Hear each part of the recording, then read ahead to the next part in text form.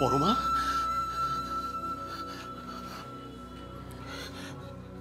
পরমা কি- ভাবছ? কি কি ভাবছ? অপুর কথা। অপু নেই। অপু চলে গেছে। চলো আমরা আমরা বিয়ের ওখানে যাই। হ্যাঁ সুপুর বিয়েটা দিই আমরা সুপুর সম্প্রদানে বসতে হবে তো আমাকে আমাকে জোর দাও জোরটা এনে দাও আমি জোরটা পরে ফেলি।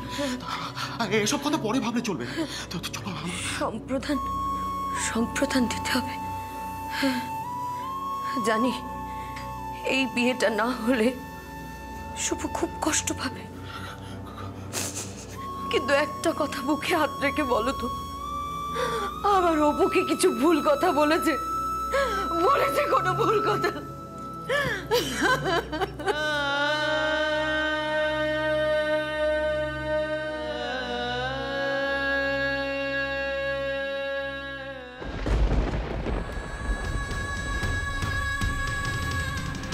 ওরে, সংসারে মেয়েদের কোথাও একটা বোঝা হতেই হয়।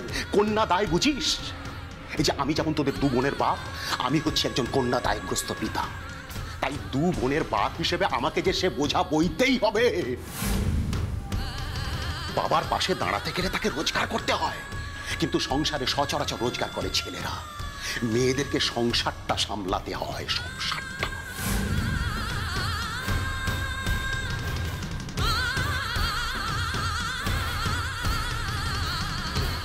তবু দিদির বিয়েটা কিন্তু আমাকে দিতেই হবে। দিতেই হবে। এরপরেও তুই যদি আমাকে বাধা দিস যদি বিয়েটা হতে না দিস তাহলে কিন্তু আজ রাতে তুই আমার মরা মুখ দেখবি। বাবা! তোর জন্যে তোর জন্যে আমি মানুষের কাছে গঞ্জনা শুনেছি। পাড়া প্রতিবেশী আত্মীয় স্বজন কতবার আমাকে অপমান করেছে তোর জন্যে তোর জন্যে। আর আজকে সব সীমা ছাড়িয়ে গেলি তুই। ওরে মেয়েটার বিয়েটা না হলে ওর জীবনটা তো যাবেই। আমি তোর মা কারুর কাছে মুখ দেখাতে পারব না, কারুর কাছে না। ঈশ্বর।